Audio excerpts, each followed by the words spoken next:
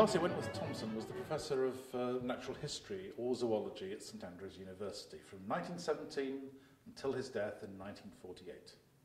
He was a remarkable scholar, a polymath of the sort that we simply don't encounter today. He was equally qualified to be a professor of zoology, of classics, and of mathematics.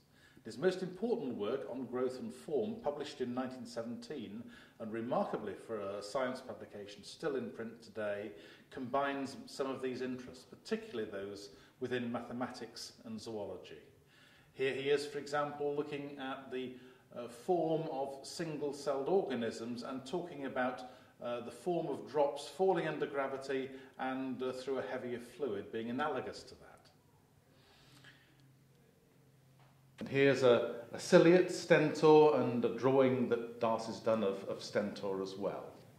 As we turn through the book, we find large amounts of material, uh, published material from uh, other books tipped in and also typed up notes on uh, bits of paper uh, tipped in as well.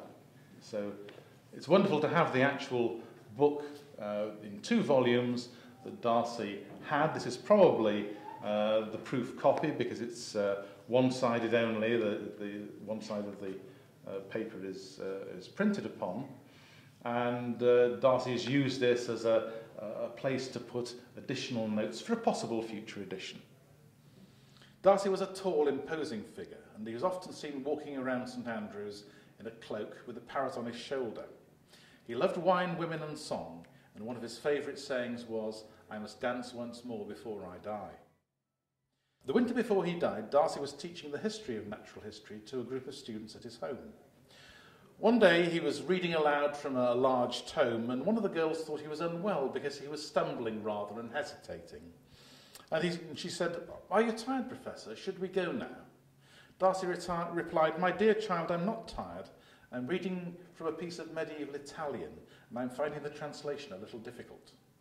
Truly, he was a remarkable man.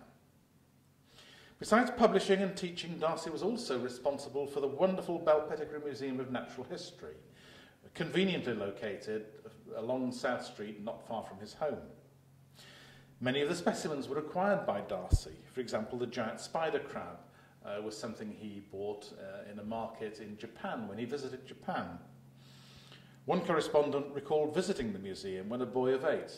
D'Arcy appeared, showed him round, and on parting gave him, gave him a jar of stick insects and some privet leaves with instructions on how to feed them.